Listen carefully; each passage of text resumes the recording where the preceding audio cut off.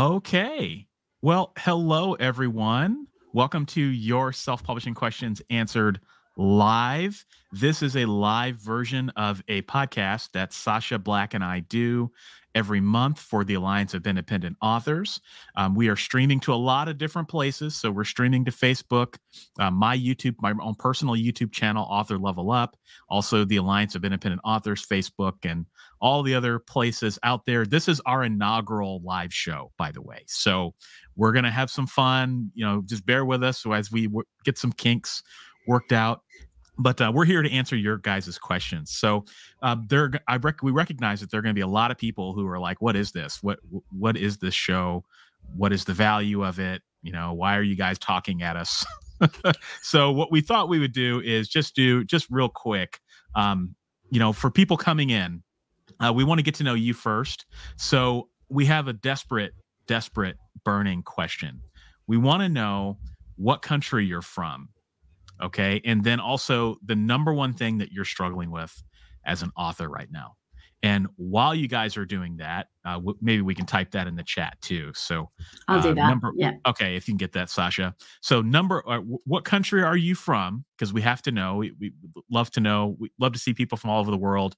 And then, what's the number one thing you are struggling with as an author right now? All right, that's that's what we want to know. And so while you guys are typing that in, I, I, I thought maybe Sacha, we could just do quick introductions of ourselves. Yeah. Do you want to start? Sure. So I am Sacha Black and I am ALLi's content strategist. I used to be the blog uh, manager, but I have moved on to uh, a new role, and Holly is now the amazing blog manager, and she truly is as well. Um, so I am an indie author, of course. I write nonfiction writing craft books. I kind of teach, do speaking. I am also the host of the Rebel Author podcast. And then under my fiction pen name of Ruby Rowe, I write adult um, uh, sapphic fantasy romances. So I think that's probably as much as you need to know. yeah, yeah. Well, all good. And and um, you people the name of your podcast. Oh, the Rebel Author know. podcast. Rebel Author Podcast. Yeah. So great podcast. Be sure to subscribe to that too. So, well, awesome. So I, am Michael La Ronn. I, I'm ALLi's outreach manager. I've been with ALLi for, gosh, I know, probably five, six years at this point. I'm a self published author, uh, author of over 90 books. I write science fiction, fantasy, self help for writers. Uh, like Sacha, I also speak and I teach and travel and kind of do all the things. And I also have a personal YouTube channel called Author Level Up. And um, some of my subscribers are here in, in the chats and good to see them. But uh, yeah, you know, we're both we're both authors. We're both kind of living the dream, doing it, writing, editing, teaching. And we're here with ALLi, the independent or the Alliance of Independent Authors. So for those watching who have not heard of ALLi, Sacha, do you want to give like a quick elevator pitch of who we are and what we do? Sure. So, I mean, when I talk about ALLi, I'm probably not giving the official pitch, but the way that I have always seen ALLi is as like an unofficial union for indie authors. So if there were a union, I feel like ALLi would be it. And the reason that I feel like that is because ALLi have a multi-pronged approach to their work with the community. So they provide educational materials such as the blog where they have hugely in-depth articles and also bringing on some shorter sort of quick answer ones uh, where we also feature members. We have our like community hubs, which are kind of in the process of changing, but have been for the longest time the Facebook forum. And then we have the podcast, which is also educational and gives a platform on the Sundays to some of our members who are very inspirational. And then we also do like government campaign type, you know, broad spectrum work where we campaign on behalf of all indie authors to advocate for the changes that we need. Um, and that could be anything from lobbying Amazon or Audible as the hashtag Audiblegate was. Oh my goodness me. Was that last year, this year? I, time is a lie. I forget. Yeah, I think it was last year. Yeah. yeah. they've like lobbied on behalf of um, like ebook tax issues and all kinds of different things. Um, and so that's kind of where I feel the union type aspect comes from. And then we also do like one on one help for authors who get stuck as well. So some of that comes in the form of answering questions, solving problems. Some of that comes on the behalf of giving advice, whether it be like licensing, sub rights type advice or other things. So it's, um, and I've probably forgotten a whole bunch of things that we do, but that's like a very broad brush. Um, yeah. Yeah, that was great. That was great. Yeah, we're, we're a nonprofit organization for authors, and you know this this show is you know, one of the cornerstones of what we do, which is providing uh, free and valuable information to the public. So and we have a ton of public with us tons. in the comments. Yes, we do. So let's take a look at uh, so so while we were talking, we had some people uh, chime in here on where they're from. Uh, so let's see. We'll just highlight a couple of them. We unfortunately we have so many comments we can't read everyone. So just know that we see it. We see you. We you know you're out there. Yeah. So Bull Bull Garlington is from Chicago, and number one struggle is building an engaged email list. And we have uh, Lynn from Vermont, and um, wanting to know what venue will be best to reach uh, my audience. So hopefully we can get to that a little bit later Lynn, and Diane, uh, number one issue marketing my book. We hear that a lot. Yep, we we do hear that a lot. Uh, Sue, uh, selling self-published books that came out a year or more ago. Okay, so how to sell books that are on your backlist. That's an interesting, interesting problem as well. Um, anonymous proxy from the UK and number one struggle is lethargy. And we'll read one more here. And hello from England. I struggle with context swapping between my day job and writing. Yeah, that's that's I, I sometimes have that problem too.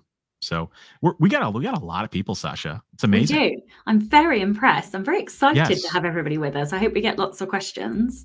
I know. Well, we were we were preparing because this is like our inaugural show. We're like, okay, what do we do if it's just me and Sacha staring at a wall? so we had like a program already, but I, I don't I don't think we're going to need it. I think we have lots of questions here. So uh, just real quick, uh, public service announcement.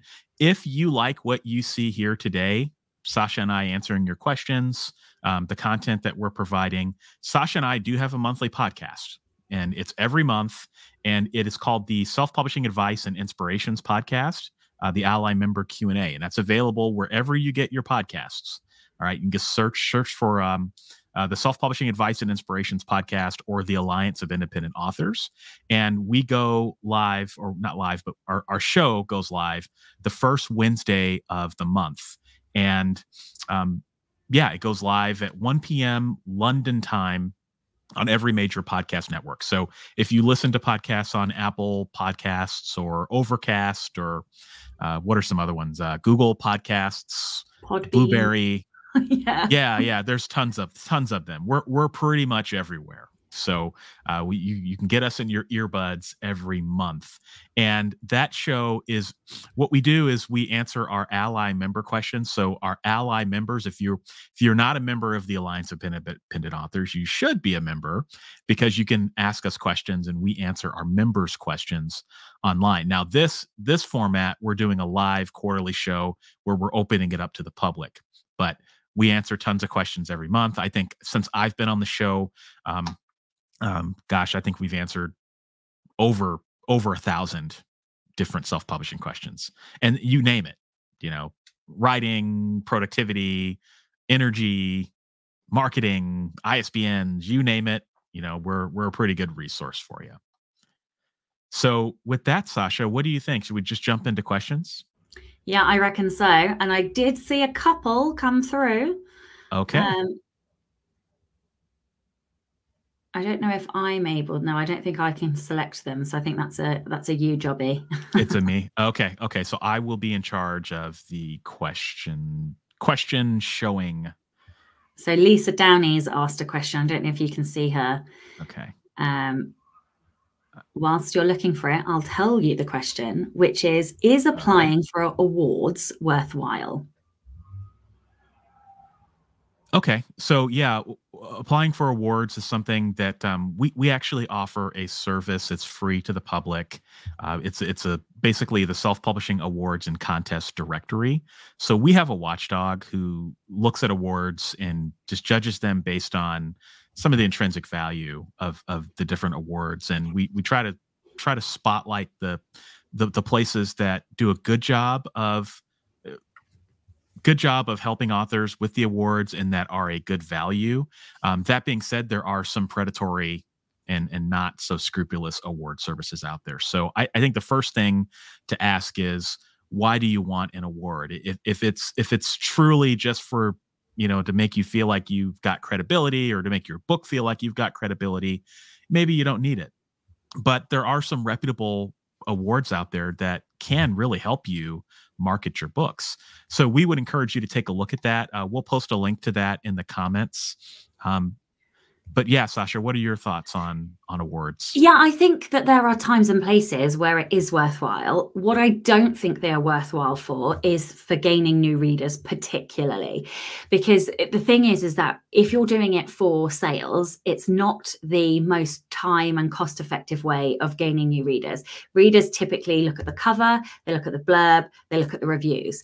Those three things are like the trifecta of, um, and then the look inside as well. If you have that in enabled. Those are kind of the four four things. I think I think possibly an order in which readers go to to um, decide whether or not they're going to buy a book, whether or not a book is an award winner, unless it's like you know the and now I can't think of any famous awards like the Costa Award. No, what is it? The Booker Prize, for yeah, example. Yeah, or Writers of the Future. Exactly. Another, yes. Okay. So Writers for the Future yeah, has a particular science fiction and fantasy type audience. Um, the Booker Prize has a particular audience who will go and buy those books every year.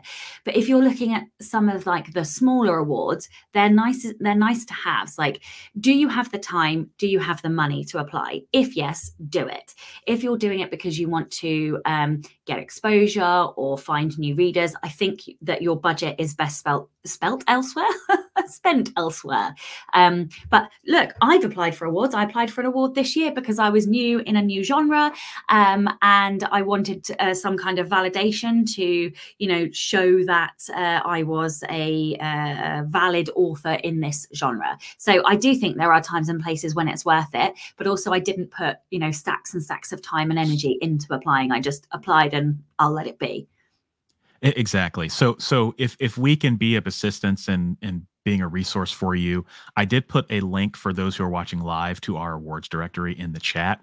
But for those who may be listening to this after the fact, um, you can look us up at selfpublishingadvice.org, and then along the top hand directory menu, uh, there's a there's a, a a menu item for ratings. Just hover hover your mouse over that, and then there is a page under that that's called award ratings. So you can check that out. And uh, our watchdog, John, he does a really good job of, of rating services. And if you're like, huh, you know, this looks like an interesting award service, but I'm not quite sure, check it out. And, and we'll, we've done a lot of legwork. And, and if for some reason there's, there's a service that, you know, you, you're looking at that is not covered on that page, we'd like to know about that as well, because we're always adding new, new services to the directory. Okay, next question. Please stay out of my dreams. Um, great handle. All right. So, uh, in the United States, with self publishing, where do you even start? I am quite confident with writing, but the process of self publishing and getting your book to people is very overwhelming. What are your thoughts, Sasha? Okay. So, you can, for all intents and purposes, just get the book formatted, which I can tell you a couple of things about that in a second, and then you can just upload it. Self publishing can be as overwhelming or not overwhelming as you want it to be. Um, so, in terms of getting the book out there, how do you make a Word document or a Pages document uh, or a Google document for that matter into a book? Well, you format it. There are pieces of software that will do that for you. For example, Vellum on the Mac or Atticus, which works on Mac or PC. Or you can download a template from places like Reedsy or Draft2Digital. they will give you a template that you can drop your document in and make sure it adheres to the instructions that are in the document then you then they will transform it into the correct file which is an epub for the most part broadly speaking that's for the ebook you then create your account whether it be on kobo or or apple or um, amazon kdp and then you fill out the boxes on KDP, all the metadata or wherever you're loading the book up, then you load the EPUB and you load your cover. So obviously you're going to have to have gone to a designer and gotten a cover. And then you hit publish after deciding your pricing and making sure you filled out all the boxes. And that really is as simple as it is to actually get the book onto these platforms. The the complexity then comes with well you know the timeline of should i do this? When do i get an advanced reader? How do i get reviews? All of that stuff can come afterwards. But in terms of self-publishing the actual mechanics of it is almost the easiest bit out of it all because it's certainly easier than drafting than editing the book and it yeah, feels sure. easier for me than marketing too Yeah, there, there's there's no shortage of resources. I you know I think that the the hardest part is just finding the right resource. Um, but really though, you could go just go on YouTube and just type in anything you want to know. Right? How do you upload your book to KDP? And just look for something within like the last. And KDP is it stands for Kindle Direct Publishing. That's Amazon's um, self-publishing division. So there's lots of people who have done videos on how to upload a book to KDP, and I, I bet you could probably watch a five seven minute video, and then you would you would know the basics of of what you need to know. And in addition to what Sacha said about you know how do you prepare the book, you know there is the formatting and there is the the cover design, but you can hire people to help you with those things. Yeah. It's just a matter of how, where do you find those people and you know ALLi again we can be a resource for you on that so start start at selfpublishingadvice.org you know there's that's that's our blog we've got tons of of content there. We've got and it's it's free. You don't have to be an ALLi member to take advantage of it. And just go to the blog and search for what you're looking for and and i bet you'll be able to find something that would be a good start in addition to youtube. So that's the nice thing about self-publishing is that yes you know there eh, Sacha, you, you, and I have to wear a lot of hats as self-published authors, right? I mean, we have to be business people, we got to be editors, we got to be marketers, we've got to run a business, you know, and and all of that, you know, all of just that, I I think can be overwhelming. But if you take it one piece at a time, it's not too bad, and you just you kind of learn as you go. Yeah, yeah. Okay. Uh, next question is from uh, anonymous proxy no problem writing, but once finished, I can't be bothered with any of the promotion, marketing, and practical stuff. Can you advise if there is a magic organization that will do all this for me? Um, hate to tell you this, anonymous proxy. No, there there really is not a magic organization that will do it all for you. Um, you know, there are publicists out there and marketing agencies out there, but your your your your success and your results are going to vary and I think it just boils down to the marketing adage, which is, you know, 50% of marketing works, but nobody knows what 50% is that actually works. So, you know, marketing is not, you know, it's it's it's not the funnest thing to do as a as a self-published author. I would just encourage you to find ways of marketing your book that you do enjoy. So, yeah, maybe you don't enjoy maybe maybe you don't enjoy advertising or you don't enjoy writing the book description or whatever that may be right but th- th- there are some things that you could probably find that hey maybe you're not that bad at maybe you feel comfortable doing it and, and double down on that you know i think that's the thing about marketing is you know a lot of people feel like they have to do things that they don't like and so they shoehorn themselves into doing things because they feel like they have to and then of course you're going to get lackluster results right um, Sacha, what do you think? Well, I think what we need to say is that the reason uh, it doesn't work is because for every service that you purchase or or sort of uh, commission you are reducing your return on your investment. So let's say your royalty that you get is two pounds per book. That means you've only got two pounds to play with in order to get that sale So if you hire a TikTok person, a email writer for your mailing list, if you hire an ads expert, each one of those is going to take a chunk of that, say for example, 2 pounds. And the thing is, you are still going to have to manage all of those service providers. So no matter what, you're going to have to get your hands dirty at some point in the process. So I haven't heard of a single organization that could do it all for you, but I know that you could outsource all of the different aspects, but you're going to have to spend time and money outsourcing, and it's going to severely hinder your potential for earning a, a positive return on your investment. Um, I certainly know that most authors eventually hire out some aspects of their business because you get to a certain point with growth where there is only one of you and you have to pick and choose the things that are important and how you spend your time. Um, so, you know, eventually most people do hire things out, but not all of it. I don't know anybody that would hire yeah, all yeah. of it out. And yeah. even in, with a traditional contract these days, it's really unusual for um, them to do everything for you. I mean, highly unusual. You have to really be getting like a whopping, you know, high six figure or seven figure um, traditional publishing deal before that will happen. Yeah, and and even then, how do you how do you know that it's going to work? Right? Yeah. So, yeah, you know, it, it's it's never it's never the answer that uh, we like to give. I mean, I, I certainly wish I could outsource all of my marketing and just be done with it and just sit in a dark room and write books all day every day. But um, there there is unfortunately some elbow grease that you have to to expend. But i think the key is just everything sacha said just remembering the the costs and your time and how valuable your time is. And just find find the things that that you can do that that will help you win. Okay uh, we got a question from linkedin uh, Chris from England.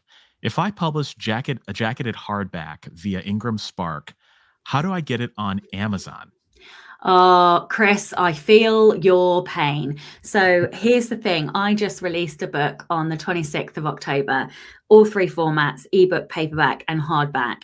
And still on the 18th of November, they are refusing to merge the formats they their stance is that unless you publish the hardback through the KDP dashboard, they will no longer merge the formats. So I don't know how you do that, but my response is that I'm setting up a Shopify store and I'm going to direct all of my readers to my hardbacks on my store, and um, I will remain.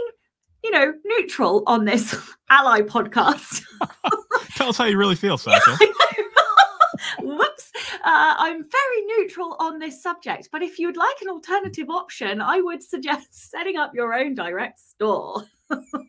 Absolutely. Yeah, it took it took me like I, I I released a paperback on Ingram and it took like 90 days for them to merge it. Ugh. And I and I, you know, emailed them and you know, I got I guess I got a little bit luckier, but yeah, it's not yeah, I don't I don't know why it takes them that long to do that. They didn't with my first book back in February in this new series, and I got quite a lot of hardback orders, which is why I'm so upset. Um, but anyway. Yeah, well, when you set up your Shopify store, you have to let us know how that goes and give us your yeah, tips because I, I, I, more and more people are starting to do that, and I, I think there's a that's an area where um, I think that's that's one area where we haven't answered a lot of questions on. So I'll be doing it over the Christmas break. So awesome. Uh, sorry, just to follow up on this, somebody's just asked, what does it mean to merge? Um, and so when you go to a book sales page on Amazon, for example, it means being able to see the ebook, paperback, and hardback format options all in one page.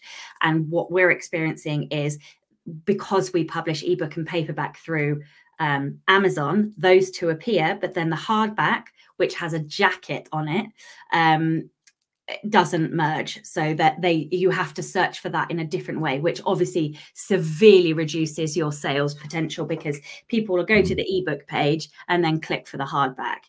So that's what it means. Yeah yeah thanks for clarifying that. Okay uh, next question is from diane. I'm getting ready to publish my second book in a series of three or four books. Any creative tips for marketing a second book? Well first off that's amazing yeah. Congratulations, on that. Yeah. Um, I would make sure your back matter, so the, the pages in the back of your book, are up to date. The best uh, thing that I have found is that as soon as you have finished, you put the full stop on the last sentence. Um, I hit enter. I do not put a uh, what's that thing called? An, a break, a break, uh, an ornamental break. break. in. Oh, a, yeah. a section break or a yeah, you know, like the asterisks is asterisk. Yeah, yeah, yeah. Ornament, yeah, ornamental break. Yeah. Ornamental break. I do not do that because that creates friction. And if you're if they're reading on a Kindle and there's an ornamental break, it could push them to go to the next page. So I literally hit enter and then I do my call to action. Um, so when you um, have the second book up, and if it's on pre-order or if you're just putting it live, make sure you go and edit the back matter of book one to make sure that the the buy link to book two is in the back. Then I would discount your book one and try and get some like newsletter promos, apply for a BookBub, try written word media, all of those places. See if you can um, reach out to some authors in your community, in your genre, and see if they'd be willing to, to let their readers know that your book's down on sale.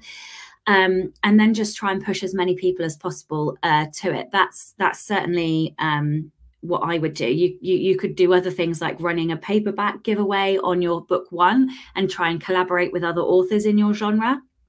Basically, um, the best thing to do to sell book two is to sell book one, which sounds exactly bonkers, but it is. That's that's the way it works. Unless, well, well, yeah, you're absolutely right. So, uh, Diane, we're assuming that you have a sequential series yes. where you are required to read book one in order to understand book two. Now, if you have a series where people can start anywhere, then I think the game is a little different. Mm-hmm. Then you can you can start. You actually could do all the same things that you're doing. Everything that Sacha mentioned, um, you could do for book two as well, and you could you know do advertising and push book two a little bit more. Um, I think if that's the case, then an, probably something you should consider is on your website. Make sure that you have a reading order where you know either it's a chronological order that readers can start or like a recommended book where people can start.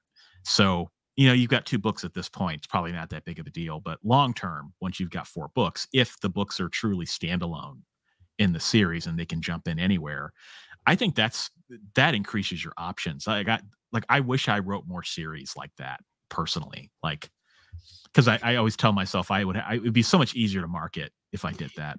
The the read through is lower though. It Ask me be. how I know.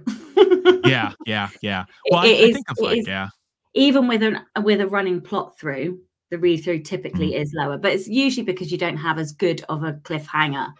Um, right, because the book is pretty much wrapped up. I mean, you kind of mm-hmm. have to write you know every you can't leave too many make, loose ends exactly the people who make yeah. it work are like for example um you know like small town romances where it's a, a, a group of five brothers and like that and each book is a different brother like those kinds of interconnected yeah. standalones really really work well i'm sure there are others but that's just the first one that came to my to my mind well yeah i think of like the big big name authors like like a james patterson you know oh, like yeah. you could you could technically pick up any alex cross book in the whole series, right? Or like uh, Clive Cussler, the Dirk Pitt books. Like I just think, you know, yeah, you definitely have to be careful. What's that?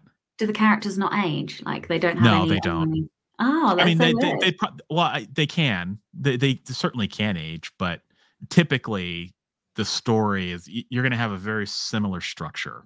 Hmm. You know, the structure is almost identical. Like it's, it's, you know, so no matter what you do when you pick up one of the books, you get a consistent experience. Mm-hmm. Okay. Yeah. But again, I, you know, it, it again, that's most most series are not like that. Most series are you start book one and then you move on. So yeah, fun fun question. Okay, uh, let's see. What's our next question? It's from writing for children with Karen. And uh, can you repeat the four things readers look at when making a decision to buy? So the cover is the number one, the blurb, the reviews, and then the look inside. Yep. Okay. Uh, next question is from Jr. Uh, I, I, I I'm gonna mispronounce your last name. So just from Jr. Uh, advice on marketing and what to do after no one buys your debut book. Oh, okay, so I would ask you how much you considered the audience and the genre before writing the book. So, when you go to a genre, had you read in the genre? Um, had you understood what the expectations were? Is there a particular length? Like, were were you delivering a book that was um, to that genre's expectations? Does your cover match and look like it fits in that genre? There are so many different ways and means of diagnosing that issue. Um, some of it can be about exposure and visibility. Um, it's really hard to answer this without knowing like more about the book. But typically, if a book doesn't sell, either the cover isn't working, the blurb isn't working, um, or you have missed something in terms of the content inside the book. It doesn't quite mesh with the genre, it's slightly off what the market actually wants. Um, or you haven't quite reached your audience. Perhaps it's about visibility and just not driving enough traffic to it. Because the thing is, there's a very low percentage of people that actually convert. So you have to send a huge amount of traffic um, to your book in order to get people to buy it. So, yeah, those are kind of the key things that I would look at. Um, and and in in general focus on like the the things that readers look at right? So focus on the cover. Is the cover right? Focus on the blurb. Does the blurb match you know the expectations in the genre? Is it copywritten for example? If those things are right then look at the the contents of the book. Is it just are the tropes right for example? Is you know if you're writing i'm going to butcher it but like if you're writing fantasy romance, for example, you know, do you have an enemies to lovers plot, or do you have, um, for example, Fae are very popular right now. You know, like, are you writing something that readers want? Is the is the question. So it sounds awful, yeah. but it's not. I, I, mean it. I don't mean it awfully. I'm, I'm trying no, to help diagnose the issue.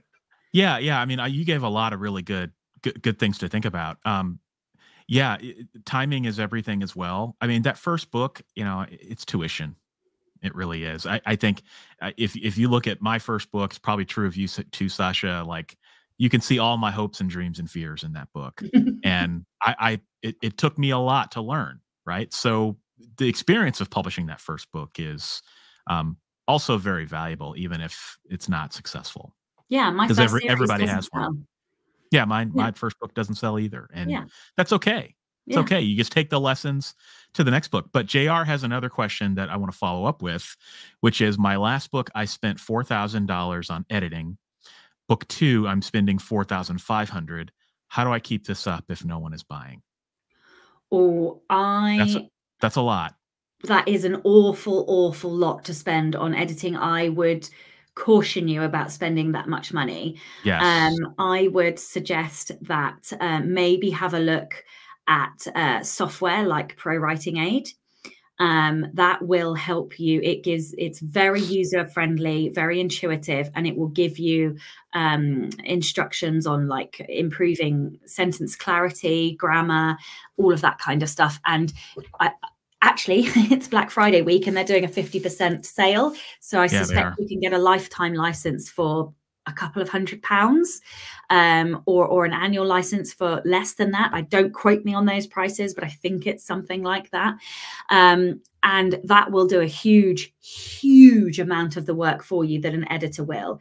And then um, i would then go and look at an editor. And depending on the type of edit so for example let's just say an 80,000 word novel to 100,000 words. For a developmental edit, I'd look for any price range between about 800 pounds and about 1500 pounds for a developmental edit, which is the story structure. It's a huge amount of feedback mm-hmm. that they give, a huge uh, editorial letter, and then inline comments. So that is the most comprehensive edit.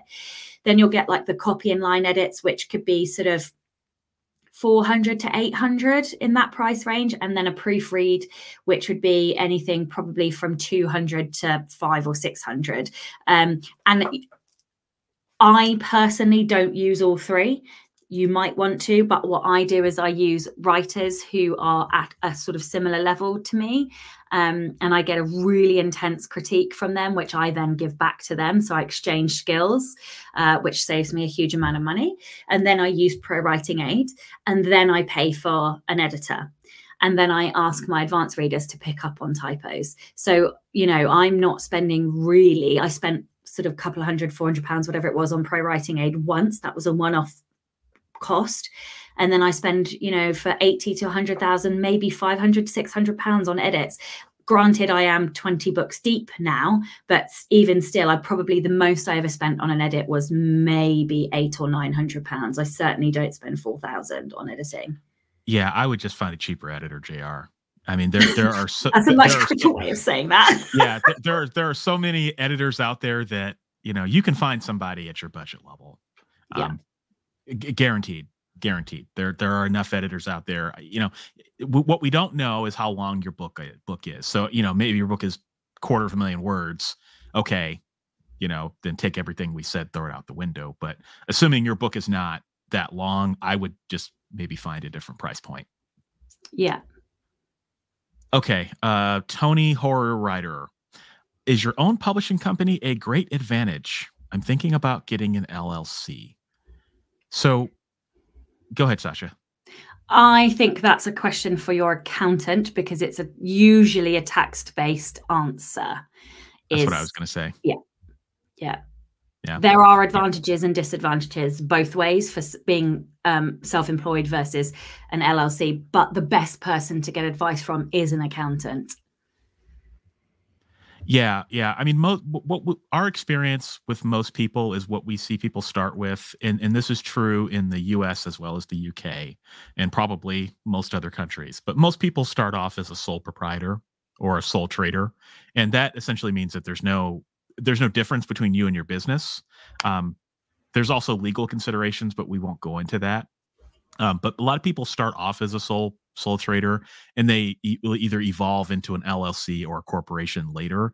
But again, that's a decision you really you don't want to make that decision without talking to an accountant mm. first because there there are tax consequences. But yeah, I mean, assuming you want to be able to publish your books through a pub through your own publishing company, that definitely looks more professional, right? So, but yeah, talk to your accountant before you do that, and uh, just make sure you're making that decision for the right reasons. Okay. Um, also from Tony, do you ever recycle writing to increase production? You ever done that, Sacha? What does that mean? I, I think I Tony, you know, I don't want to put words in your mouth, but I, I think what you're implying is, you know, do you ever take bits and pieces from books that you've published previously, um, and and and use those in current books? Um, for my nonfiction, I sometimes quote myself, which sounds very egotistical. I do that too. but yeah, I mean, According I mean that black, right? So. I know. Right? but it makes perfect sense right because that's also like genuine marketing without it being like if you've already answered the question that comes up in a different book then it you know i think that's a legit thing to do so i definitely quote myself in terms of like the other ways that i recycle is like sometimes i'll write a scene that then ends up being cut and sometimes I might give that to my mailing list, for example, or I might then turn that into a short story or like a side quest that I then use as a reader magnet or something. But I don't think that I particularly recycle. I certainly have a sort of pattern where one of the chapters in a book then inspires another book kind of thing where I realize I want to go into a topic in more detail. So I might lift a couple of bits from that to, that then gets expanded into a complete book. But no, that and the sort of using fiction scenes for newsletter content and stuff is probably the most that I do in terms of recycling. Yeah, yeah. I I I don't recycle with my fiction at all. I do it all the time with my nonfiction though. Like if I'm writing a a writing book and I'm trying to make a point that I made far more eloquently two or three years ago in one of my other books, I'll just say, "Hey, in this other book, I, you know," and I'll just paste just paste the chapter, you know. So you could do that, but yeah, uh, th- there's definitely some.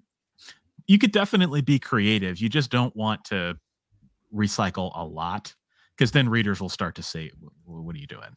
Right. So do it strategically. Do it. Do it. Do it. So hopefully they don't catch you doing it. Okay. Uh, Empty Cages Press. Are book clubs a viable way to go? And how do you do it? Um, viable way to go for what? I, are you? Are we talking I'm about assuming sales? for marketing. Yeah, for marketing or just book sales. I think these are like bookstores when you're an indie. It's a nice to have if you've got the time and inclination. I think if you are after increasing your audience and getting more sales, there are better ways to spend your time and energy and potentially money. Um, you know, it, would it be nice if if you had a local book club and you had set a book series locally, I'm sure that would be a great way to market. Um, but typically book clubs are small unless you're talking about like Reese Witherspoon's book club, um, you know, or Oprah, or you know, uh, mm-hmm. what are the what's the couple in the UK anyway? Unless you're talking about those massive ones, but you know, they don't take indie books; they take trad books. So right. I, I would probably say no, um, unless you've got the time and energy. Or you're that type of writer that would benefit from it, which is yeah. a very rare breed of writer. So yeah, yeah I, think I your time and money would be better spent elsewhere. Like um, Adam Croft did the Rutland crime series, and if there were like read book clubs in Rutland, I could think that would be a good example to you know to do it, but not really. I can't think of another example. Yeah, I can't either. Okay, another question from LinkedIn uh, from Joshua. At what point for sales or success should you consider creating audiobooks? Well, they need if you do an audiobook and your ebook is not selling, your audiobook is not going to sell. Um, you need to be able to see that your ebook is selling well enough that you will be able to get enough like income to pay for the audiobook. So, I mean, it, if say the cost of creating an audiobook would be say two to three thousand pounds then i would want to see sales far in excess of that for an ebook before i would consider creating an audiobook because it's going to cost yeah. you two or three thousand pounds to get the audiobook.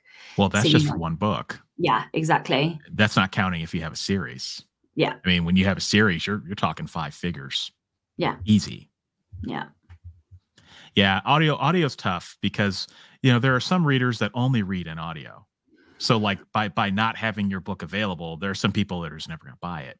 But the, the what you don't know is is will that actually move the needle in terms of your book sales and how long will it take for you to recoup that two or three thousand pounds? And the answer is it could be a long time. And you know another thing about audiobooks that we uh, we talk about quite a bit that we recommend we don't recommend any sort of royalty share so if you're going to produce an audiobook, it's best to do it up front, which means you pay the money up front to the narrator. Um, and so that can be tough too. So yeah, you want or, your book sales can, to be good. Or you can consider selling the sub rights, which is a whole different business conversation and decision. Yeah, but it goes back to what you said previously. You got to have really good ebook sales yeah. before, you know, any sort of agent or company is going to want to license the audio rights. Yeah. So, yeah. So, you know, probably your money's better spent elsewhere un- unless it's something you truly want to do, but wait till the sales can justify it. Yeah, and the only other exception to that is if you do nonfiction and it's sort of that first person nonfiction, um, and you are so inclined and have the time and the um, nous to want to learn how to do it yourself. Because um, you know i've we've both done audiobooks ourselves for our nonfiction mm. so it's not yes. not an impossible feat. Yeah it's it's not impossible but not for the faint of heart. You really you really it, it, it, will take you 10 times longer than you think it's going to take you. But so, it does get quicker. It does it does get a little bit quicker. Yeah yeah so yeah audio audio's fun but yeah it can man it's one of those things where you wish it was a lot cheaper Okay, uh, Christina, how soon should I design my book cover? I'm still in the first draft phase, but is it beneficial to start that early? Oh, how long's a piece of string? I know people that leave it until they've finished writing the book. I know people um, yep. that forget to even do it after and then suddenly the book's in edits and they're like oh my goodness me i don't have a cover.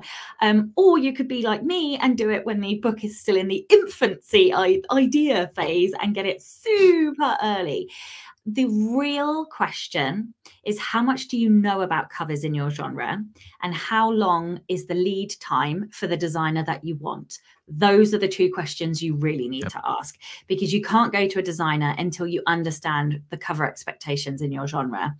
Um, and then once you do understand that and you're able to write like a brief and usually they'll give you like the questions that will make up the brief usually um, uh, and if you if you know that kind of information then you need to find out how long the queue is for your designer. And that should then determine your timeline. Yeah and then another consideration too everything you said is perfect. You know another thing to think about is if you design it too early there's always the risk that it could change. So you just want to make sure that you know if you do when you design it you got to make sure it's set in stone. Because if not then you don't want to have to engage somebody to change change it. So ask me how I know about that. ask me how I know. Yeah. Yeah. How many, I, I can't tell you how many times I, I, would design a cover and, oh crap, man, I'm going to yeah. change the main character or. I have a whole uh, cemetery in my iCloud of covers. yep, I think that's true. I, I think I've got a few too. Where I, you know, I, I try to, I try to delete them because it's just depressing. Because you know, oh you, no, you I, them. I try and think of ways to use it. them well, that's the thing. I is the ones I had I can't use. Like there's just either I write a whole completely different story just for the cover, you know, and yeah, then I feel like I would choke if I did that. So, all right. Uh, next question is from uh, Mary Angeles Navarrete Lopez. Can I self publish my first novella in two languages, written, illustrated, and translated by me? Can you give me advice on writing from the fringes? My novel is with beta and sensitivity readers now. Can you do it? Well, yeah, nobody's going to yeah. stop you doing it. what yeah, I would I, recommend is that you get whichever is your first language. Obviously, it's really difficult because I don't know how bilingual you are or trilingual or you know whatever. Um, so it's sort of ignorant of me to make assumptions. But one of my friends has just um, published a children's book. They speak German and English, um, and they actually had a translator work with them on their children's book, even though they are fluent in both languages purely because there is uh, it was like a rhyming um, children's book and so there are nuances to how rhymes work in those two languages um, so even if you are super super native sort of at native level in both languages i would mm. recommend that you get advanced readers to just have a read um, and make sure that it all reads coherently um so sort of people who are native or or that's the right word isn't it? But like first language in those two languages that you are publishing yeah. in. Um and as long as you're getting the go ahead from those two then i don't see why you wouldn't do it. I think that's fantastic. Yeah it's a rare skill. Yeah you know, I, you know I, i've talked to a few authors that have the ability to do that and i just i so admire that. So if you want to do it go for it. But i you know just just just recognize like sacha said you can't nobody's Superman. You know, yeah. You, you, there's probably one out of the three that you're going to be killing it with, and maybe there's one that's maybe it's your Achilles heel. You know, so just think about that. You, you, even though you may have the ability to do it, you may still want some help to some degree. Okay, uh, next question is from Bull. Is there a community of SPAs who solve the dilemma of affording professional or semi-professional services in payment or for payment in kind? Um, I might offer a design jacket in exchange for editing services, for example. Yeah, but you have to find them. so I do exchanges yeah. all the time. So um, I've got author friends who, um, like, essentially we developmental edit each other. I mean, it's not called that, but that is tantamount to what we do, um, and that works really, really well.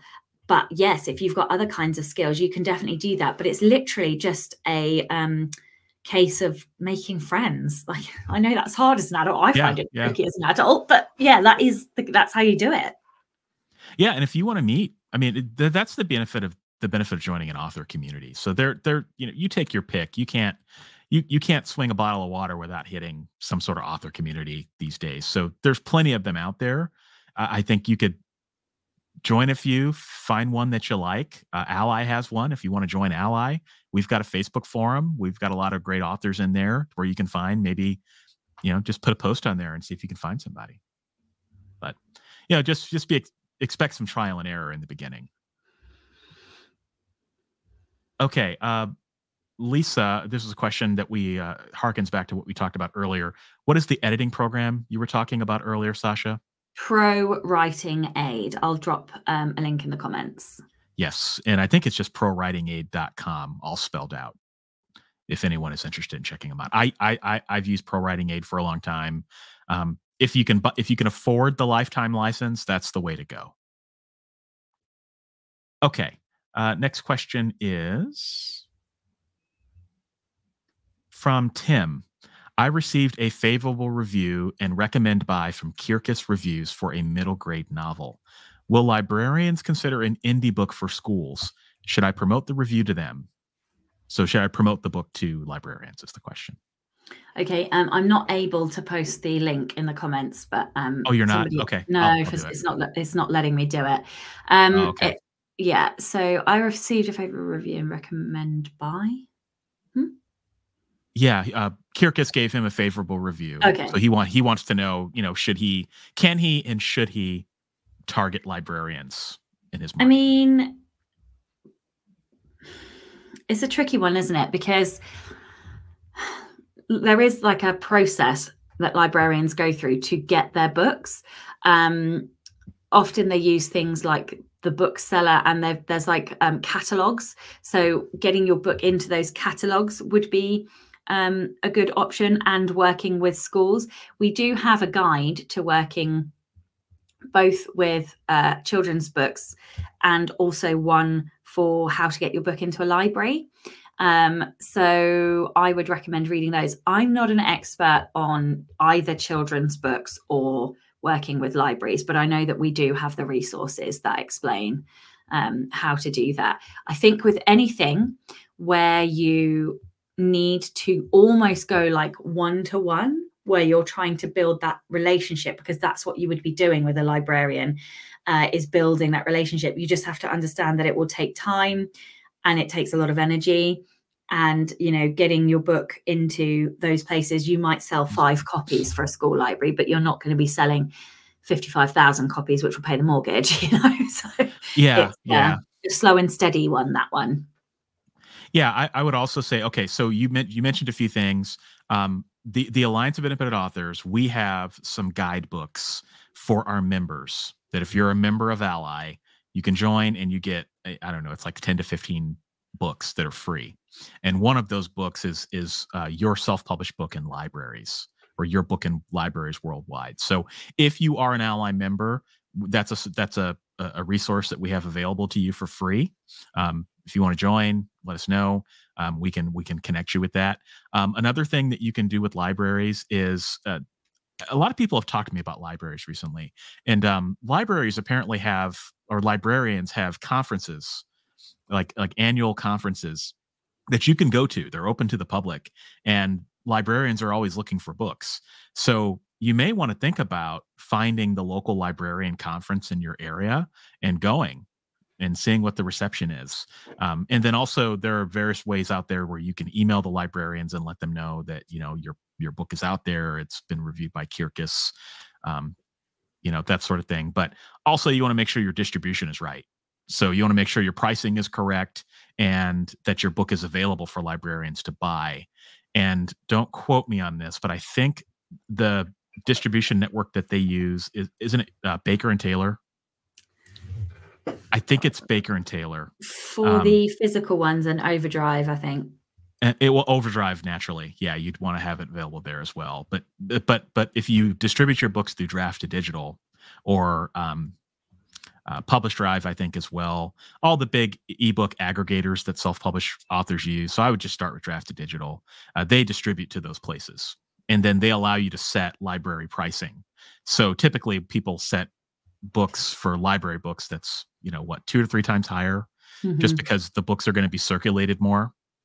So you know, make sure your pricing is on point and make sure your distribution is on point before you go to the librarians, and then that and then after that it's kind of up to you up to your marketing and sales skills and you know whether the librarians are receptive to to what you what you're trying to to sell okay uh willow asks next year is the 100th anniversary of a historical event which is the mount everest expedition how can i market my book to I'm that. So assuming the book is about Mount Everest. assuming, yeah, we'll make a reasonable assumption. If it's not, then I Uh, wouldn't do that. I wouldn't do that. But assuming your book is, you know, it's, it's tied to Mount Everest in some way. I mean, you could find out what events are on and potentially have like a stall there. You could run your own event, your own kind of appreciation event. You could work with other authors who write books similar to yours and run maybe a series of lives, or um, you could do a discount or sale on the anniversary date. Um, you could do some content marketing around Mhm. the historical Everest expedition. Try and get on some podcasts that maybe travel podcasts that are that ha- that have an interest in perhaps the Himalayas or um, you know expedition podcasts or or travel pitching to travel magazines would be another one. Um, uh, yeah. Yeah, the, you, you know your niche better than we do. You know, we, we can really only give you generic advice on that, but be creative. Be creative. I mean, I think anything is fair game. Okay, uh, Wylan. Wylan asks, I'm wondering the best way to to just try, um, I believe it's dictation, without spending more. I only have use of one hand, so typing is very hard. Should I just use my phone or speech to text? Um, depending on whether um, or not you have a Mac, Mac dictation software is actually pretty good, um, and that's like an innate accessibility um, uh, uh, Yes, it is. button. It's not the It's, right yeah, word. it's built in. It's built in. Yeah, Yeah, built all in. the keyboards. Yeah, and it's pretty accurate. So if you have a Mac, I would suggest just switching that on and giving that a go. Um, what else? I'm not sure what else because I don't use dictation.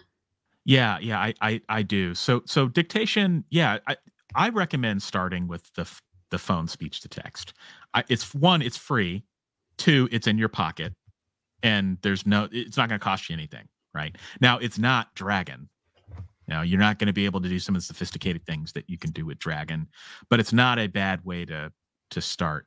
Um, try it out, get used to it, see if if you could see yourself doing it.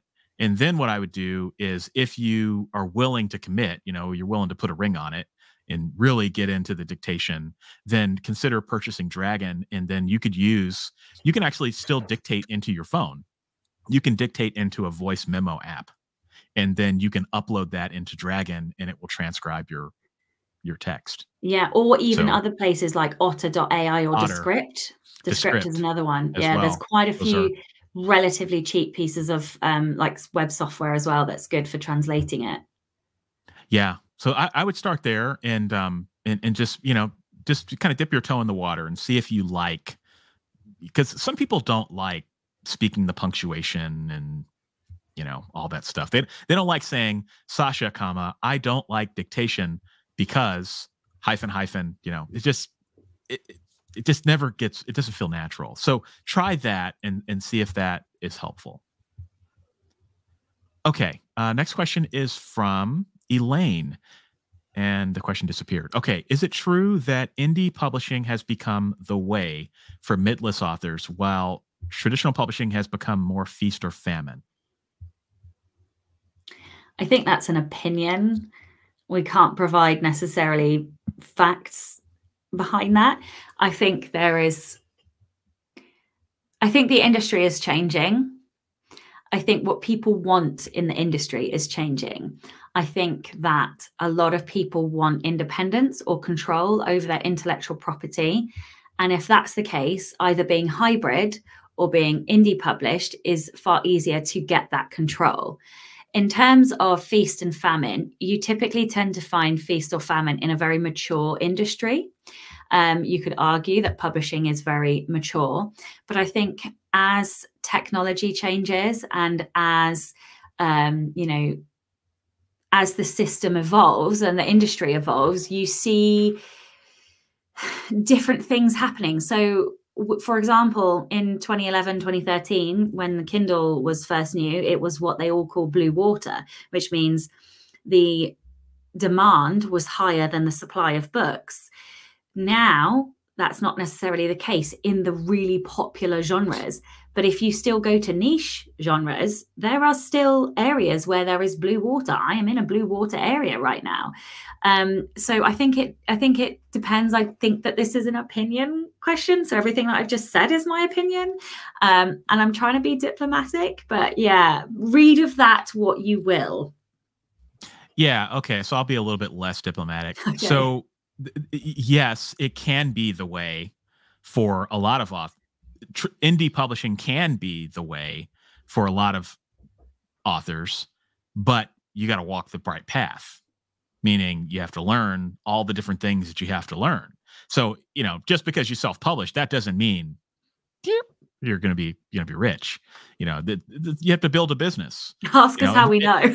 yeah, exactly. You have to build a business, and there's a lot of blood, sweat, and tears involved in building that business. And if you're willing to do that, and you're willing to maybe stretch outside your comfort zone and do some things that uh, maybe you didn't think you could do, then yes, there's no doubt that there are hundreds, thousands, tens of thousands of authors who are making a living yeah, from their yeah. work, or at least making enough that satisfies them professionally and artistically. And um, I think the one thing that you have to come to indie publishing knowing is that this is a long game. The more books you have yes. as an indie author, the more likely you are to be successful. Yeah. Yeah. And you can, you, it's true that you can be successful with traditional publishing as well, but, you know, the odds are against you. So, I mean, unless you're, unless you get lightning strikes, you know it can be tougher. And you know remember that when you sign a traditional publishing contract you no longer own the rights to your book. So you don't have that control. Whereas with self-publishing you do have that control and and you can control your destiny. Now what what that destiny is Sacha and i don't know. But what we can tell you is that we we talk to people on a regular basis who have been successful who have walked this path and been successful. So um yeah this I, I happen to love this path I think it's it, has been the way for me, and and hopefully it's the way for you, Elaine. Uh, but we just want people to to walk this path with a clear eye, and not, you know, just think you're going to jump into it and become a millionaire.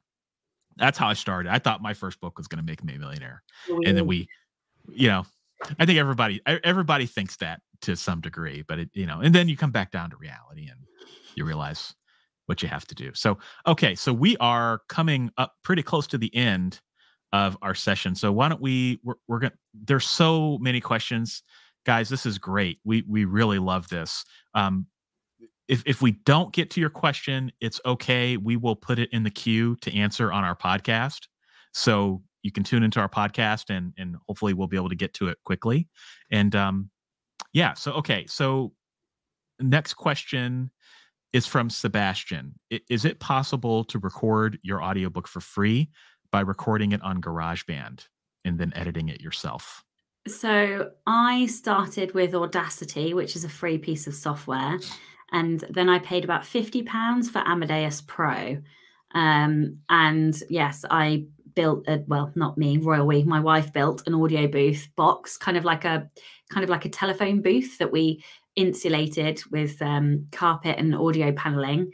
Uh, and then I recorded the audiobooks and did um, all the editing. The editing takes way longer than the recording. yes, yes, it does. But yes, you can do it for free. Yeah, you can. Just make sure you get the right software. Um, you you you know, like I said, I I probably would not do it in GarageBand personally. Um, I wouldn't do it in Audacity either. So you know, your free options are are kind of limited if you don't do one of those two, especially on a Mac. I would spend just a little bit of money to get an app. Um, I used Reaper for my first one. I think that was like sixty dollars. So you know, no matter how it shakes out, you're still coming out ahead if you don't hire a narrator. But yeah, definitely you want the right tool. Okay, uh, penultimate question: How do you pitch or market a book that doesn't fit any existing genres? I find this question very difficult. um, I would pick the elements that are closest to a genre and market them. So there's nothing wrong with writing books that are cross genre or don't fit a particular genre. That's fine. You can find some readers. But what you need to do is manage your expectations on how easy it will be to find those readers and how easy it will be to sell. It's not saying that you can't sell it. I'm not saying that. What I'm saying is readers typically go to a bookstore or a digital bookstore and click a genre to find the books that they want. So by not writing in a genre, you're instantly making it harder for readers to find you on a platform that's already got a lot of books. So that's why I'm saying pick the elements that are most obviously part of a genre and use them to market. Yeah, that's exactly. I, that's. I have nothing else to add to that. Okay. Uh, final question, Sacha. What are some strategies for writing more and increasing writing productivity? This is from Kareem. Uh, what are your thoughts on prompts, free writing, etc.? Oh, this is one of my favorite questions. Yeah, me too. So I went from taking six months to write a book, draft, to being able to write a book in three weeks the way that I did that was I went and did my Clifton Strengths. So Clifton Strengths are like a psycholo- psychological profile, like a Myers Briggs type personality test, um, and you can find it on Gallup.com. Um, and I then went and got coaching. Now I didn't know that I'm number one competition. So I'm yeah, everybody drink. I am hyper competitive, um, and I had no idea why I didn't know that, I don't know, because my wife laughed in my face when she found out that I didn't know that I was competitive. but anyway, um, and I also have a strength called achiever. What this means is that I really love like achieving things, ticking stuff off, getting a gold star and a sticker. Uh, so I discovered a piece of software called ohwrite.co. And in ohwrite.co, you can write with friends. You can't see what they're writing, but you can see their word counts. And being the competitive person that I am, I did not want to be the loser in terms of the number of word counts. So I went from being able to write about 1700 words to 2000 words in a whole working day to being able to write two and a half thousand words in an hour. And that was just by understanding who I am and what processes work best for me. Now, I've got some friends who are hyper consistent, right? So for them, what works best is a lower word count, but writing every single day. So they might write anything from 500 to about 1500 words a day every day, day in, day out, without fail, even on Christmas, even on their birthday, even on whatever days. Now, that does not work for me. That exhausts me. What doesn't exhaust me is burning really hot and hard and smashing out the book in a very short space of time. Um, so, really, the question comes back to you to say, to say to you, okay, so the first thing I think you should do is track track what you're doing now um, to see you know what time of day are you getting the most words? When do you feel like writing? When do you feel the most creative? Um, have you ever experimented with friends by writing on zoom for example? What was the output then?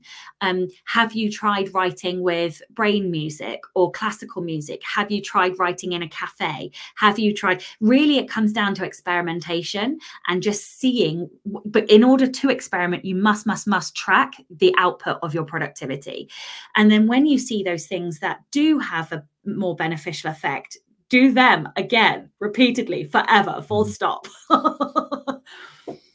yeah, no, exactly it. I mean, I, I'm I'm this this is one of my favorite questions too because this is just how I'm built. I'm just wired for productivity and efficiency. And Sacha, we have some of our strengths in common. So I'm an achiever as well. So my my advice would be um, I'll tell you how I had to solve it for myself. So I had I, have a pretty crazy lifestyle. Like I just have a lot going on, and I realized at one point that I'm like I'm only going to be a one book a year writer, if that, if I don't make some changes. So I learned how to write on my phone. So when I'm you know in line at the grocery store or sitting in doctor's office waiting on a doctor because they're late or whatever I, I have, you know, I had I used Scrivener for a long time. I use Microsoft Word now to where I can just pick up the app and I can pick up where I left off in the novel. And I've trained myself to be able to do that. And so I discovered that 40% of my word counts at one point were coming from adopting these apps. So you can change the way you write. That's one way to do it. Um, you can increase the amount of time you're spending writing, which most people don't have the ability to do because if you have a full time job or a family, that's kind of hard. Or you can use tools and technology to streamline the process and make things better. So, for example, I use used to use Microsoft when I first started. I used Microsoft Word, and that didn't work out very well because I was fighting with it and I was cursing it out every night. It was cursing me out. It just didn't work. So I switched to Scrivener, and Scrivener made things so much easier because it had all the tools, you know, that made it simple. I've got two last things to say. The first one is it's ohwrite.co. O is in O H. Yeah, so O H. Oh, okay. The word right, then dot .co. Okay. Um, and and the second thing is keep experimenting because what yeah. might work for a while might not work forever because life circumstances change really good example of that is that I used to not need as much thinking time. And as I've gotten older, I need more thinking time before I start writing. So much so that just today I was introduced to Plottr, um, which is a piece of outlining software that's completely radically changed my ability to outline much, much quicker. I've gotten way faster. So I think even when you have processes, it's really important to keep an open, like a growth mindset and to be willing to experiment. And you might try things that don't work, but you might also find new bits of software that do work for you. So, yeah, yes. just stay open to possibles. Be flexible. And uh, we did have some comments that came in that uh, just have to highlight real quick. Um, Elaine says, uh, "Yay, gold stars! What a millennial." We are both millennials. yes, we are. We are millennials. So the jig is up. Yeah. Uh, now you know. now you know who who is talking to you today. And then um, somebody else said uh, there was another comment. Oh, how to solve the problem that Kareem brought up is uh, no sleep and a bunch of coffee. I mean that works too. that that works temporarily, but then you yeah. may end up in the hospital. So you yeah. know for a one night thing, you know, I, I cannot confirm or deny that uh, that that can be effective, but uh, probably not forever. So, okay. Well, Sacha, wow, we've come to the end of the our first show. It's amazing. Thank you all for watching. This has been great. And um yeah, so this has been your self-publishing questions answered live. Uh, we really wish we could have gotten to everyone's answers or questions, but uh, you know, tune in next quarter. Uh, we'll announce this on our social media platforms. Uh, I'll stream this on Author Level Up, my my podcast as well. So um, be sure to subscribe to ALLi's YouTube channel if you're if you haven't, or subscribe to wherever you are right now watching this. And uh, just another quick public service announcement that if you found today's session helpful, Sacha and I do this every month, but on a podcast. So uh, it's called the Self Publishing Advice and Inspirations Podcast. And it runs the first Wednesday of the month, wherever you get your podcasts. And um, yeah, this has been great. So we don't have the date set for our next session yet, but as I said, we'll announce that when it comes out. But it will be in the new year. So in the meantime, uh, happy holidays, everybody. Enjoy the rest of your writing. Uh, for those who are doing NaNoWriMo, good luck. You got to be uh, over halfway to, to finishing your novel at this point. And we'll to talk to you next time. Thanks, Sacha. Bye. Bye now.